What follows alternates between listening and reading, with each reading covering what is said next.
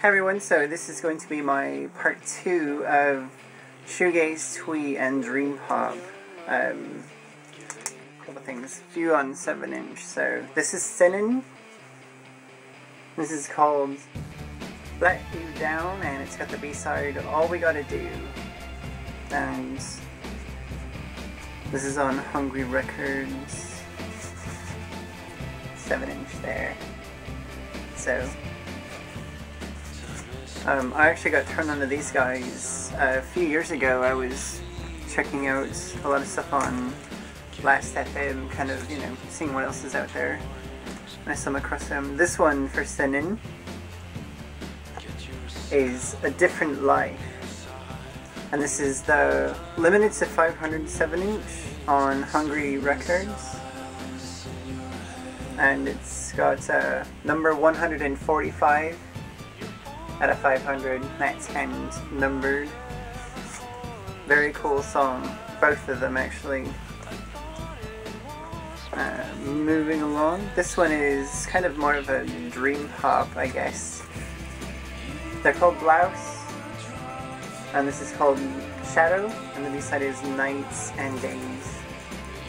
So, and it's kind of hard to see, but the cover is really um, kind of just traditional shoegaze, kind of a blurred image of the band overlaying kind of another image, so very cool. This one um, is A Place to Bury Strangers, and that's the In Your Heart C or 7 inch single, so it's it's signed to me by all three members in silver and this was actually from when I saw them open for the Big Pink. And uh, I think everybody was deaf after their sets. Luckily I brought professional grade earplugs. So if you ever go see A Place to Bury Strangers, um, definitely bring earplugs. Very, very loud. Next one is one by The Pains of Being Pure at Heart. Um, this is from their latest album. This is a 7 inch for Belong. And it has the B side, I Want to Go All the Way. So, this one's a lot of fun. I think I got that one at Stinkweeds when I was out with Brett uh, months ago. This one is kind of fun. This is um, film school on and on.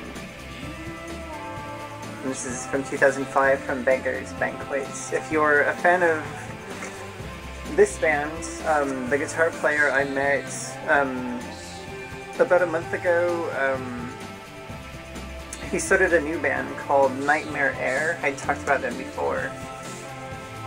But he is the guitar player from that band, so if you're into shoegaze, I would definitely check out Nightmare Air. This one, um, I got when I was out in LA seeing Paul Weller. Uh, I know it's not much to look at, it's a blank, but it has the barcode on the back. We all know what this is. If you're a fan of twee pop music, kind of the little brother of shoegaze, white vinyl. This is Trembling Blue Star's Beautiful Blank, and it's got the radio edit, and then it's got Say Goodbye to the Sea Part 2, which is only on the 7 inch. There's actually a CD version of this with um, more tracks. This only has two, but the CD has a bit more. So definitely a huge fan of Trembling Blue Stars. If I could get everything for them on vinyl, I would. However, it's not a lot of it out there. So I've always shown a lot of stuff by Cranes. I know I had recently. This is actually the 7 inch for Shining Road, which houses actually part 1 and 2. I only have part 1, so I don't have the part 2 of the 7 inch, but if you're into them, um, you were into them. Like, Cranes fans are dedicated to the um, extreme. This is the 7 inch box set for Jewel. This is supposed to house all three 7 inches of Jewel, which again, you know, being cranes in this are kind of hard to find. uh, has three different tracks. It's got Jewel, 7 inch mix, Clear, Ultra Slim Fast, and Leaper to Heaven Part 2. So, who knows, maybe day will come where I'll find the other parts to this. I know I've shown this one before, but I'm just kind of on a, a real Cranes thing right now. This is their first EP from 1991. Um, Inescapable. There was actually a cassette called Fuse that came out way before this, but I would be quite lucky to have Fuse. But anyway, that's the 12 inch for Inescapable, and since we're on a Crane's roll right now. This is Wings of Joy. This is their first album. 1991 it came out after Inescapable. The first time I saw Cranes was for this album and I was sold. I absolutely loved them. Uh, also, I've been talking about some 4AD bands that were really cool. This is one. You can kind of see that on there. This is the Big Pink. And this is the Velvet single. It's got um, Velvet, Velvet Perversion, and then it's got These Arms of Mine, which is Otis Redding song, which is an absolutely great cover. When I saw them, they did uh, These Arms of Mine. Robbie Furze came to kind of a bit of a solo part in the, the middle of their show, and he did that track on his own. So it was a very good day. This one, Cocteau Twins. Since we're on the subject of 4AD, this is the Bluebell Knoll, and this has kind of got that little flap that opens on the front there. And uh, opens up into a gatefold.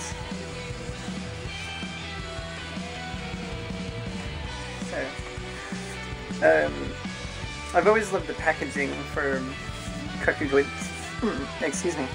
Cocteau Twins, like the cover art and you know just that whole label. Like I think I was talking about before, and every one of you that is into the 4AD label would probably agree that you know the the look and the sound of all the bands on 4AD and the in the 80s all the way through the 90s till almost present um, had that very particular sound that was unique to the label. It's almost like the label only looked for bands that had that sound.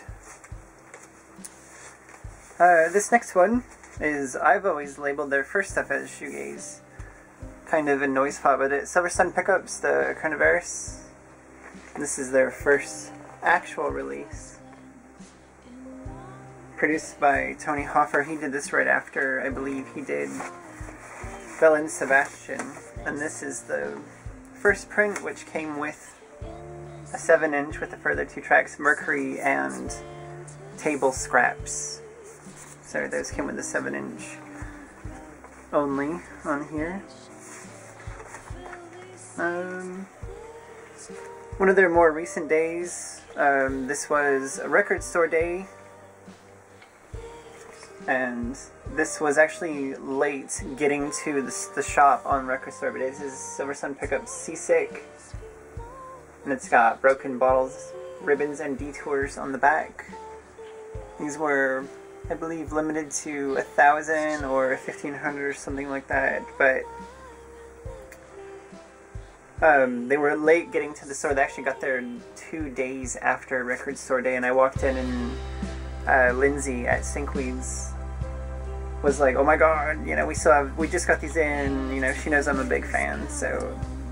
I told her you didn't even think about it, I just grabbed one and here we are. So again, produced by and mixed by um, mixed by Tony Hoffer again, and then Dave Cooley produced it. So pretty cool.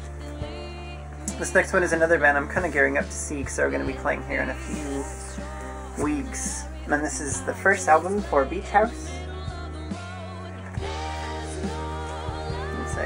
So I wanted to show these. I might have shown them before, but I was just kind of excited because I get to see them again for like the 50 bazillionth time. And this was their album just before that. Um, this is Beach House. Title and it's got a picture of Alex and Victoria on the inside.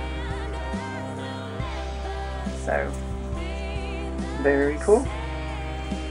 So I'm, I'm really excited about that. Hopefully I can get these signed um, to myself at the show. So not as long as my last one, but a decent length probably. Um, so thanks for watching. Hopefully I'll be doing another one probably tomorrow for British pop. I was thinking of a few records to show tonight, so um, hopefully you'll check that one out as well.